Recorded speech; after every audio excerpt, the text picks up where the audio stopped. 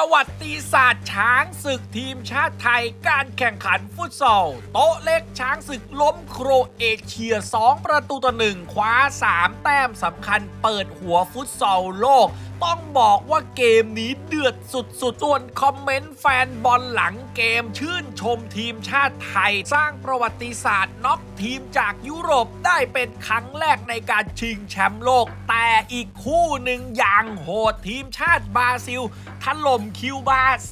0 แถมคิวบายิงไม่ได้แล้วมีแฮตทริกอีก 2 คนโอ้โห งานนี้เดี๋ยวรอดูไทยเจอบราซิลนัดสุดท้าย แต่ขอเก็บ คิวบาในนัดถัดไป ทั้งหมดนี้ติดตามได้หน่อยแตงโมลงเปียพงยิงครับ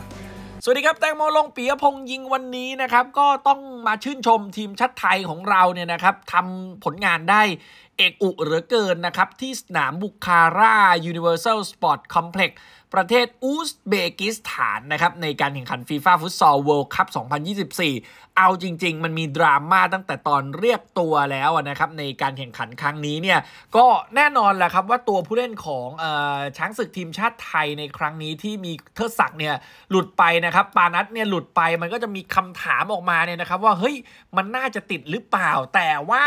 อย่าลืมนะครับว่าคราวนี้เนี่ยคนที่มาเนี่ย โอ้โห ก็น่าสนใจเหมือนกัน เพราะว่าคราวนี้ 4 แข้งโต๊ะเล็กทีมชาติไทย ที่สร้างประวัติศาสตร์หน้าใหม่ ลงเตะในศึก Futsal World Cup รอบสุดท้ายมากที่สุด 4 สมัยเนี่ย มีเนิร์ดจิรวัฒน์สอนวิเชียร ช้างกฤษดาวงษ์แก้วอาร์มศุภวุฒิเถื่อนกลาง และก็อภิวัฒน์แจ่มเจริญนะครับ ซึ่งแน่นอนละเกมนี้เราก็พิสูจน์กันไปแล้วนะครับ ว่าเรามีดีพอ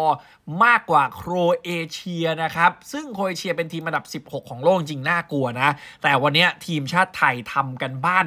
มาได้ดีจริง ๆ ครับทุกคนฮะ ทั้งโค้ดนะครับ ทั้งผู้เล่นเนี่ย เล่นภายใต้แท็กติก เล่นแบบอดทนนะครับ เล่นแบบระมัดระวังตัวและที่สำคัญความเฉียบคม ของเราวันนี้มาดีของเขาไม่ค่อยคมนะครับเขาพลาดหลายต่อหลายครั้งอยู่นะครับ แต่ว่าสุดท้ายแล้วช้างศึกของเราเนี่ยก็เก็บ 3 แต้มกรุยทางเข้าสู่รอบ 16 ทีม เพราะมันเอา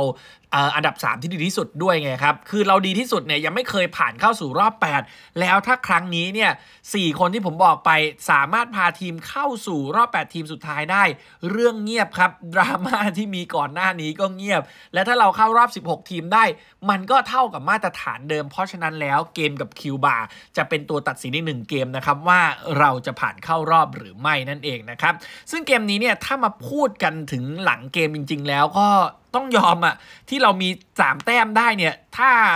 ใครที่ได้ดูตลอดทั้งเกม อารุษเสนบัตรครับ คือนี่ยิ่งกว่ากาวอีกนะ ไม่รู้ว่าโกหรือกาวทำไมมันเซฟขนาดนี้นะครับ โอ้โหเซฟแบบชนิดที่ว่ามี 10 มือนะมี 10 มือเลยนะครับ ยิงซ้ายตบออกยิงขวากระโดดตบโอ้โหแบบมาทุกทิศทุกทาง ขนาดเอ่อฟีฟ่ายังยกย่องเลยบอกว่า โอ้โห สุดยอดคนนี้นะครับ คือจังหวะที่เราได้นำหนึ่งศูนย์เนี่ยนะครับจังหวะนี้ก็สวยนะเออแล้วก็ทางด้านของสราวุธพราพฤกเขาหักข้อมา ก็โคเอเชียผมว่าเกรงเก่งเกมแรกเจอกับโหทีมชาติไทยเว้ยนะฮะมันจะมาไม้ไหนผมว่าเขาเกรงเกินไปนะครับแล้วก็ส่งผลให้เรานำหนึ่งศูนย์ยังไม่หายเกรงแต่ว่าเขาก็มาดีนะเขาจะได้จะได้นะครับมันก็อยู่ที่โชคจังหวะดวงอะไรอย่างนี้ด้วยนะครับพอโดน 2-0เนี่ย รณชัยจุนวงสุขเนี่ยนะครับซัดเข้าไปจ่อๆลูกนี้นี่สวยจริงนะฮะแล้วมันโอ้โหยิงได้สะใจมากนะครับเขาอะเพิ่งจะเริ่มตั้งเกมได้ แต่ว่าไทยเราก็เสียวนะพอเขาตั้งเกมได้จริงๆแล้วเนี่ยนาทีที่ 31โคยเชียมาได้ประตูตีตื้นมานะครับจากเซคุลิก อันโตนิโอนะครับแล้วไล่มาเป็น1ต่อ2ตอนนั้นนะหัวใจจะวายเหมือนกันนะครับสุดท้ายแล้วเราก็เก็บชัยชนะไปได้นะครับส่วนคอมเมนต์หลังเกมเนี่ยนะครับก็เอามาให้ดูกันทั้งแฟนไทยทั้งแฟนอาเซียนเลยเขาก็ ยอมรับนะว่าทีมชาติไทยเนี่ย เป็นระดับ world class นะครับ world class จริง ๆ นะฮะ ตอนนี้ก็มาเป็นอันดับที่ 2 ของกลุ่มแล้วนะครับ ถึงแม้ว่าจะบวกแค่ 1 ยิงได้ 2 เนี่ย แต่มันก็สุดยอดนะครับ ปรบมือสิครับ คอมเมนต์แรกนะครับ คอมเมนต์ถัดไปบอกว่าสุดยอดฟุตซอลไทยนะฮะ ถัดมาครับขึ้นเป็นรูปเลยครับ เราเคยถล่มกัมพูชา 16-0 เหมือนกับเออ remind นะฮะ หรือว่าย้ำความ สิ่งที่มันผ่านมานะ สุดยอดไทยแลนด์นะฮะ เอาขึ้นโชว์หราเลย 16-0 นะฮะ โอ้ อีกท่านหนึ่งก็บอกว่า congratulation Thailand ครึ่งหลังไทยแก้มาดีมี press ด้วยบางจังหวะ ยืนตำแหน่งดีเห็นพลาดลูกที่เสียนั่นแหละ นอกนั้นบีบให้โครเอเชียเล่นวงนอกหมดเลย อันนี้เราทำได้ดีจริงๆนะต้องยอมรับนะครับบังรุดเซฟขนาดนี้ไม่ได้ Player of the Match ก็บ้าแล้ว อันนี้แหละครับ Man of the Match ของแท้นะครับ สุดยอดนะครับ เราก็หวั่นใจไงตอนแรกก็จะลงไม่ได้ ภาพจำนัดปารากวัยปี 2008 เด้งขึ้นมาเลย กองหน้าถึกๆ บังบอลพลิกเล่นคนเดียวกดไทยยับเยินดีวันนี้เนี่ยกองหน้าหมากรุกทำได้แค่เม็ดเดียว ถ้าค้ำคำแล้วมาคมๆ นี่เราอาจจะงานเข้าได้นะครับ เรามาด้วยวิธีการเลยครับวันนี้ คอมเมนต์นี้บอกนะฮะ เน้นฉกจากความผิดพลาด ฟาวครั้งที่ 6 ของไทยมันได้ยากได้เย็น เออมันมีอีกประเด็นหนึ่งก็คือกรรมการวันนี้ผมว่าไม่ค่อยดีเท่าไหร่นะ เอาจริง คือตัดสินแบบค้านสายตานิดนึงอะให้เรายากนะครับ ส่วนโคเชียเดี๋ยวได้เดี๋ยวนู่นเดี๋ยวนี่แต่ว่าทีมชาติไทยมันทำไมมันดูยากเย็นไปหมดนะครับ กับคำตัดสินของกรรมการในสนามวันนี้มันไม่ค่อย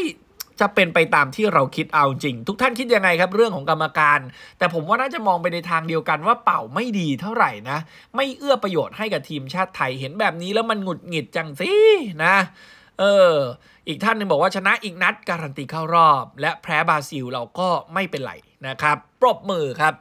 ยินดีด้วยเป็นทีมแรกที่ผ่านเข้ารอบต่อไปไทยแลนด์ ไทยเก่งมากชนะฝรั่งได้ไม่ต้องโอนสัญชาตินะครับ เออ นี่เป็นครั้งแรกในประวัติศาสตร์นะที่เราชนะทีมจากยุโรป คลิปก่อนหน้านี้ผมบอกแล้วนะว่า เราแพ้มาแบบรัวรัวทุกครั้งรวดนะครับ ไม่รู้มันเป็นอะไรเจอทีมจากยุโรปนี่มันแพ้ตลอดมันไม่สามารถที่จะเอาชนะได้เลยนะ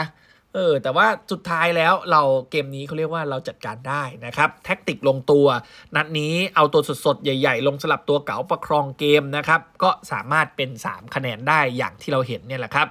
ลุ้นทุกๆ วินาทีจริงๆ ไม่กล้าเข้าห้องน้ำเลยครับสำหรับเกมนี้นะฮะอีกท่านบอกว่าไปฟุตซอลโลกมาแล้วไม่มีกลัวใครทั้งนั้น เก่งมากแทบไม่อยากจะเชื่ออะอันนี้ก็เป็นคอมเมนต์จากบ้านเรานะครับ ส่วนคอมเมนต์อาเซียนโหต้องยอมรับเลยนะว่า ผมอ่านแล้วรู้สึกดีใจนะ